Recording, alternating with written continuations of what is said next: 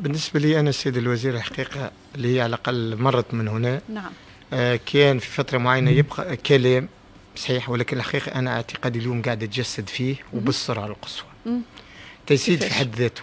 إحنا حتى في فترة معينة آه بون حكينا شوية حتى في الداخل كنا نطالبوا ديما بسيد وزير. ما حسيتناش بسيد وزير سامحوني في الكلمة أنه يكون إداري. معناه يوقع ويمشي.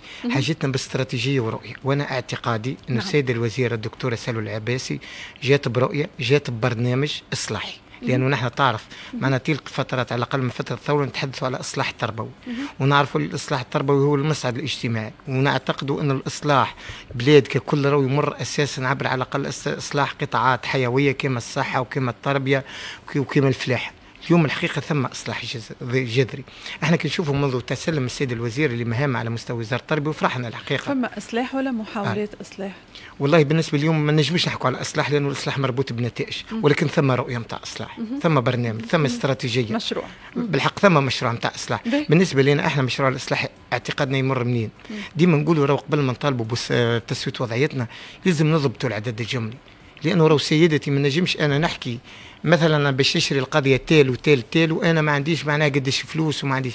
إحنا اليوم تعرف برنامج موجود طالبنا بضبط العدد الجملي. باش وقت اللي وزاره التربية تحكي على تحديد معناها اعتمادات مالية تكون عندها معناها فكرة شاملة العدد لس هذا تعرفي إحنا بالاختصاص ماناش كما زملائنا المين شغلات مؤكده وموجوده وفعلية وواقع اليوم نتعاملوا معاه أي. باش وزارة التربية على الأقل حتى كي تحكي مع المالية ولا في إطار التواصل مع سيادة رئيس الجمهورية لأنه هو أذن في إطار استشاره وطنيه إنه يتم القطع مع التشغيل اللاجئ ونحيوه بالمناسبة وعقود المناوله يكون ثم برنامج واضح. ونحن كتنسيقية كنا جزء من البرنامج راهو إحنا رانا ماناش طرف مفاوض على الأقل باش نوضحوا للسادة المستمعين. ولكن إحنا رانا ماناش فقط اساده نطالبوا بتسوية وضعيتنا رؤيتنا الطالب بالنسبة لنا إحنا طلبنا على الأقل في إطار آه، رؤية تشاركية. نعم. علاش رؤية تشاركية؟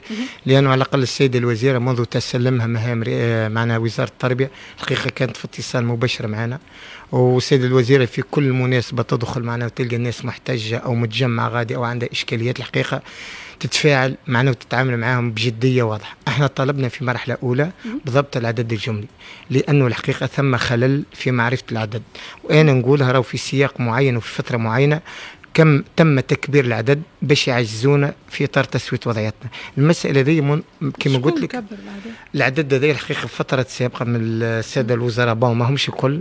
يحكيوا على إنه العدد نتاع 2008 2016 فقط 17000 أي. بعد بعد ضغط 14000 بعد 11000 بعد 7000 بعد 5000 اليوم معناها عدد نواب بون. تو اليوم اليوم قداش العدد؟ 8 16 هم 3000 اليوم كي نحكوا على 2008 2024 لأنه طلبنا بقيمه واحدة باش تكون تسوية عادلة وشاملة 2008 2024 العدد 19500 وأربعة. bon فيهم ناس مازالوا دون ثلاثة أشهر. طلبنا بإدراجهم الإدراج تم للجميع لأنه نحن بالنسبة إذا ما ثم مسار نتاع إصلاح يلزم ضبط العدد الجملي. وبعد طلبنا بتسويه اليوم الحمد لله معناها تو إن شاء الله نحكيو ثم معناها مساعي جدية وثم اجتماعات صارت وثم أمر ترتيب اليوم قاعد يتخدم على مستوى وزارة التربية والمالية وقانون الوظيفة العمومية وهذه حاجة إيجابية.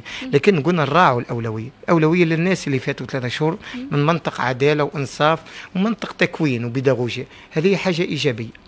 اليوم إحنا مطالبنا الحقيق صحيح إحنا عمق المطالب في التربيه لأنه ما نجمش نحكوا على مرض مطلب ما عندوش دفتر علاج مربي عفوا ما عندوش دفتر علاج وما نجموش نحكوا على مربي ما هوش ياخذ يتقاضى في الأجر نتاعو وما نجموش نحكوا على مربي محرز على نفس الشهادة في بعض الأحيان عنده كارير أكثر مثلا من زميله آخر مثلا كما المدرسة مدرسة المعلمين رغم احترامنا الشديد ليهم هم زملائنا ونتعلموا منهم ويتعلموا منا.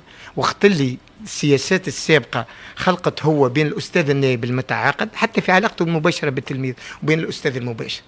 علاش هذا؟ إحنا نحب. أنا نحب نسأل على الأساتذة النواب اللي تجاوزوا ال 50 سنة. عندكم شي إحصاء؟ آه، عدد؟ آه، يعطينا فكرة واضحة على الأساتذة النواب اللي العمر نتاعهم تجاوز ال 50 بالضبط. سنة. إحنا الحقيقة في ال 19504 عندنا 174 جوز ال 50 راهو هذوما مظلمة حقيقية مظلمة تاريخية. هذه هو تأكيد سياسة التسويف والمماطلة تأكيد سياسة الإصلاح اللي تشدقت بها الحكومات السابقة على أساس عنده برنامج واضح ولكن الحقيقة ما كانتش ثم نيه الحقيقة. اليوم 174 إحنا الحقيقة تعرف.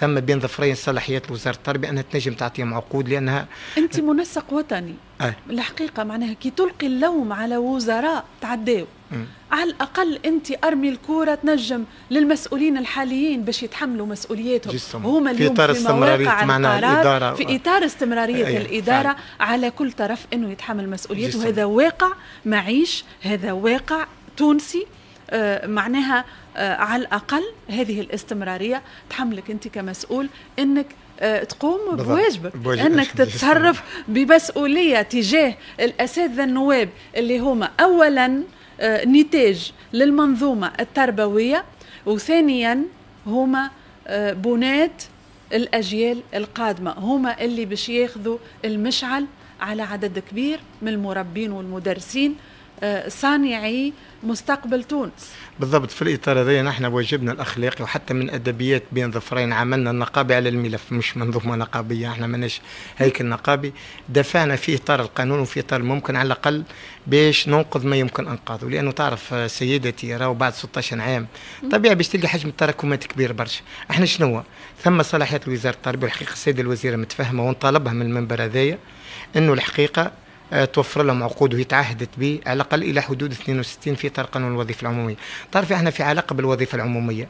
ثم عمر محدد إنه تسويه الوضعية ما تفوتش 50 اليوم إحنا توجه أه، توجه بالضبط. توجهنا نحن سياده رئيس الجمهورية. تحرك 17 جانفي تحرك 24 تحرك آه، 26 جوان تحرك 31 جويلية. الحقيقة في كل مرة نتحركوا نتوجهوا لسيادة الرئيس بالطبيعه بعد ما نقابل السيدة الوزيرة.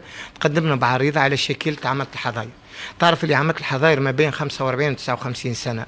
معناها من مواليد 65 سيد الرئيس هبط آه، مرسوم رئاسي من أجل تسوية وضعيتهم. وهذا اللي ماشيين فيه اليوم. على الأقل خذينا آه، تعهد في الباب هذايا وحتى من وزارة التربية أنه السيد الرئيس مشكور الحقيقة وهذه لفتة كريمة. تستناو في منشور مثلا؟ في مرسوم حكو مرسوم. مرسوم, جمهوري أو رئاسي من أجل الإنصاف خصوصا أنه العدد نتاعهم ماهوش كبير. بقيه العدد تعرف اللي إحنا راهو البقية ثم ناس عمرها 49 معناها ما زلت لهم سنة. العام الجاي أي، 50 بالضبط. إحنا التصور في إطار الدفعات اللي نستناو فيها ضمن الأمر الترتيبي اللي أي. بداوا يشتغلوا يشتغلوا عليه اليوم بعد.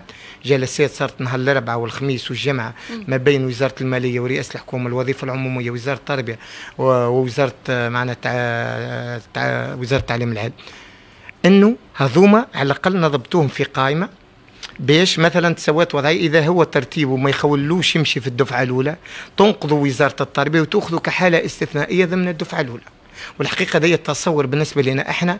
إن شاء الله يرى النور وأنا الحقيقة ما عنديش أدنى شك إنه الشيء هذا باش يصير لأنه تقريبا إحنا في اللمسات الأخيرة باش ما عادش تقصي حتى زميل وباش الحقيقة ننصفوا زملائنا اللي بالنسبة لنا إحنا ذوما حجر الأساس. وأنا أعتقادي إنهم من نخبة المربين. علاش؟ لأنه إحنا كي نحكوا على زملاء 49 تعرف أنت وقتاش تخرجوا فك الفترة الزاهية فك الفترة المضيئه نتاع المدرسة العمومية التونسية. أنا الحقيقة نحب نوجه مجموعة من الرسائل. راهو إحنا كاساتذه نواب صحيح حطينا في إطار نطالبوا بحقوقنا وهذه حقوقنا الشرعية ما فيش كلام. ولكن راهو عندنا ما ندلوا بدلونا حتى في مسائل معناها تخص الإصلاح. فقط الرسالة الأولى أنا نحب نحيي جميع الأساتذة النواب اللي أنا مسميهم شعب الأساتذة النواب لأنهم ناضلوا. نحب الحقيقة نقول لهم من حقكم اليوم باش تفرحوا. صحيح تأخرت الفرحة ولكن أن تأتي خيرا لا تأتي ابدا. إن شاء الله ثم دفعات للناس الكل. بون صحيح ما نجموش نعرفوا عدد الدفعات. أما إن شاء الله الدفعات للناس الكل. الأحكام الترتيبية بداوا اليوم يشتغلوا عليها ما بين وزارة التربية ووزاره المالية ورئاسة الحكومة. الحقيقة وأنا كنت متواجد غادي. مسألة الخلاص إن شاء الله باش تداركها المندوبيات لأنه صار الحقيقة شوية تقاعس ولكن بعد إصرار وزارة التربية قاعد يدفعوا فيها. فقط إحنا نحب نأكد على حاجة رانا مستقبل المدرسة العمومية وراو القطاع هذا يلزم ندافع عليه من موقع إنه آه، يكون مدرسة شعبية ديمقراطية بعيدا على الخوصه فهمتني ولا باش نجموا على الأقل نكونوا آه كما نقولوا الحجر نتاع الاساس وإلا العرس نتاع قطاع التربية في المستقبل ومشكورة مرة أخرى.